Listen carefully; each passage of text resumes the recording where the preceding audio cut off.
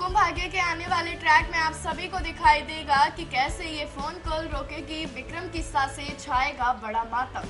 जी हाँ कहानी में आएगा एक नया ट्विस्ट और कहानी बिल्कुल बदल जाएगी। आपको बता दें अपकमिंग ट्रैक के बारे में, जहाँ पर आलिया और रिया ने मिलकर बनाया है एक प्लान और अब वो सिड की साथ करवाने वाले हैं ये बड़ा हादसा। और जब सिड की गाड़ी खाई में गिर जाएगी तो एक अनजान शख्स करने वाला है।